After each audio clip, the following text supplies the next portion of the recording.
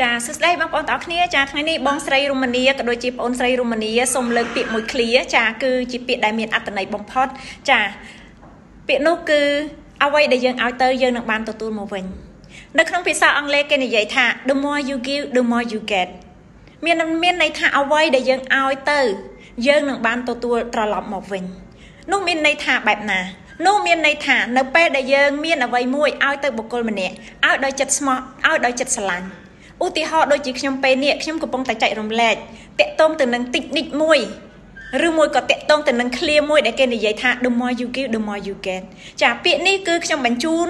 ជាសារទៅបងប្អូនទាំងអស់គ្នាតាមរយៈ TikTok តាមរយៈ YouTube តាមរយៈ Facebook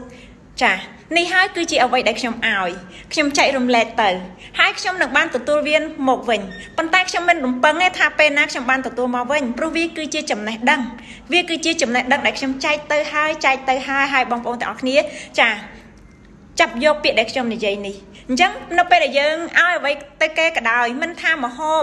មិនថាលុយមិនថាមហូបមិនថាចំណេះដឹងមិនថាជាអ្វីក៏ដោយឲ្យតែយើងឲ្យទៅគេហើយយើងនឹងបានទទួលមកវិញ នៅពេលដែលយើងធ្វើអីមួយយើងត្រូវចាំថាអ្វីដែលយើងឲ្យទៅ វានឹងបានទទួលមកវិញប៉ុន្តែកុំទន្ទឹងកុំទន្ទឹងថាពេលណាបានចាវានឹងបានប្រហែលជាយើងឲ្យទៅបុគ្គលម្នាក់នឹងប៉ុន្តែបុគ្គលម្នាក់នឹងគេមិនបានតបមកយើងទេមិនគេមិនបានតបស្នងមកយើងទេប៉ុន្តែអាចនឹងមានបុគ្គលផ្សេងមួយទៀតគេនឹងតបស្នងមកយើងចានេះគឺជារឿងប៉ិតណាខ្ញុំជឿលើពាក្យនេះមែនតើដោយសារតែខ្ញុំធ្លាប់ជួបខ្ញុំខ្លួនឯងគឺធ្លាប់ជួបចាអញ្ចឹង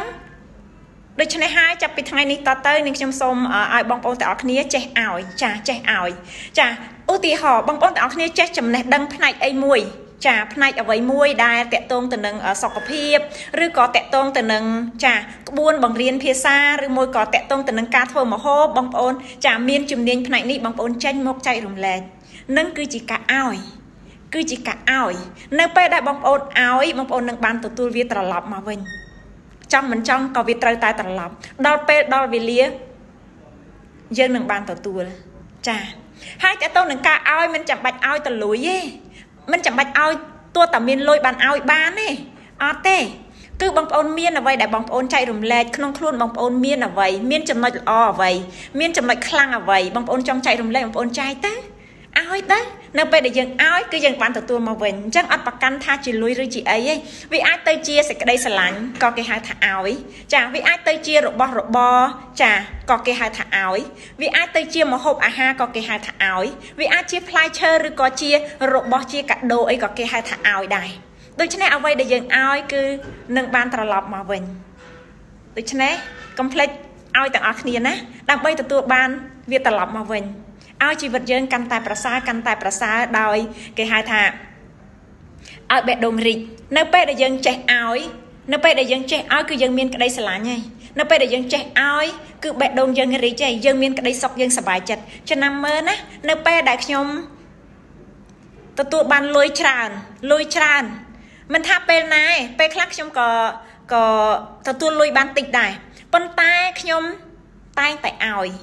នៅពេលដែលខ្ញុំឲ្យគឺខ្ញុំសង្កេតមើលខ្លួនខ្ញុំនៅពេលដែលខ្ញុំឲ្យច្រើនឲ្យច្រើន គឺមកច្រើនមកភ្លាមភ្លាមមកច្រើនគឺមានន័យថានៅពេលដែលខ្ញុំទិញជារបស់អ្វីមួយឲ្យទៅកន្លែងអ្នកធ្វើការឬក៏ជាបងប្អូនរបស់ខ្ញុំឬក៏ជាសាច់ញាតិពូមីងបងប្អូនរបស់ខ្ញុំនៅពេលនោះហើយគឺពេលដែលខ្ញុំឲ្យពឹបគឺខ្ញុំមានអ្វីតបស្នងមកខ្ញុំតបស្នងបែបណាតបស្នងដូចជាភ្ញៀវកំងឲ្យបានអូកំងកំងកំងកំងខ្ញុំរត់តែពេលដកដង្ហើមអត់បាន ចាឬមកក៏ភ្ញៀវណាត់អូ អ្នកគ្រូអ្នកគ្រូខ្ញុំចង់ចេះចេះចេះចេះចេះចង់មកកសាចង់មកកោខ្យល់ចង់មកទិញផលិតផលអ្នកគ្រូចាអានេះហើយគឺជាអ្វីដែលយើងឲ្យទៅហើយវាត្រឡប់មកវិញ គឺវាត្រឡប់មកវិញ តាមផ្លូវវិធីផ្សេងផ្សេងគ្នាចាអញ្ចឹងអូខេសម្រាប់ថ្ងៃនេះគឺសម្រាប់បងប្អូនអ្នកដែលចង់បានចំណេះដឹងថ្មីថ្មីគឺសូមជួយចាចុចអឺ share ម្នាក់មួយ ចាឬមួយក៏ឲ្យបេះដូងម្នាក់មួយផងណាចាសូមអរគុណសូមជម្រាបលា